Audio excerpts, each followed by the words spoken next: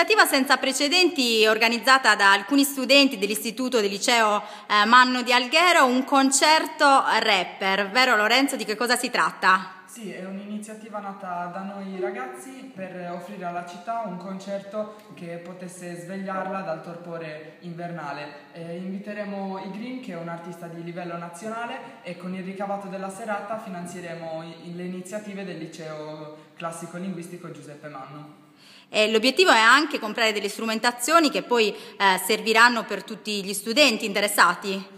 Sì, esatto, discuteremo dopo il concerto con tutti i ragazzi anche di come utilizzare i fondi ricavati. Enrico, quando si svolgerà? Sì, l'evento si svolgerà il sabato 16 aprile dalle ore 18.30, quindi vi aspettiamo.